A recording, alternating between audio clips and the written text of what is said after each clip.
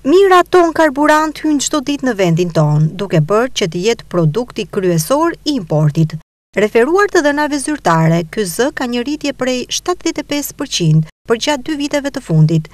Kapiteni i portit të Durrësit, Taulant Alka, thotë se njëqind e pesëdhjetë e pesë cisterna me një sasi prej një milion e pesëqind mijë ton karburant janë importuar përgjatë vitit dy mijë e njëzet e tre. Ka pas një rritje të numrit të prekjeve dhe të dhe të sasisë së mallrave të importuara dhe të të të futura në në nëpërmjet portit të Durrësit, do të theksoj që vetëm karburantet në të që kanë hyrë në Porto Romano, në terminalet Romano Port dhe MBM, kanë qenë 155 cisterna me një sasi totale të rreth 1.500.000 ton karburant, të cilat janë importuar direkt apo dhe në magazina doganore në zonën e Porto Romanos. Në portin më të madh të vendit, krahas përpunimit të udhëtarëve, kryhet dhe ai i mallrave tregtare, por në dallim nga pasagjerët, aktiviteti tregtar bëhet në dy terminale, njëri prej të cilëve privat në zonën e Porto Romanos.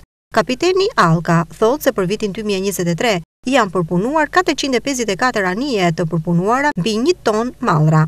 Referuar të dhënave ka kryesuar importi me materialet e ndërtimit dhe drithërat, ndërsa në dalje është regjistruar një rënie e eksporteve ku dallojnë mineralet dhe materialet e ndërtimit. Dua të theksoj që përpunimi i anijeve tregtare në nga kapitanerinë e portit të Durrësit realizohet në dy terminale, pra jo vetëm Autoriteti Portual Durrës përpunon anijet General Cargo, por edhe koncesionari MBM në Porto Romano përpunon këto anije.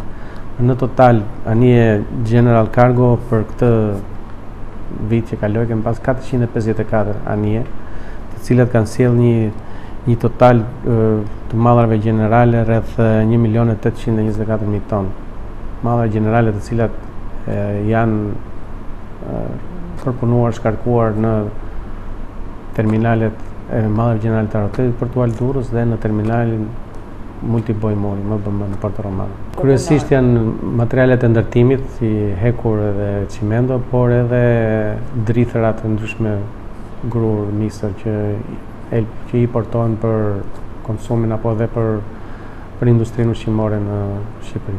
Në dalje kemi pas një numër pak më të vogël duke iu referuar kjo eksporteve të, të cilat dalin nga territori i Republikës së Shqipërisë, kryesisht minerale dhe materiale ndërtimi si çimento rifuxho apo klinker.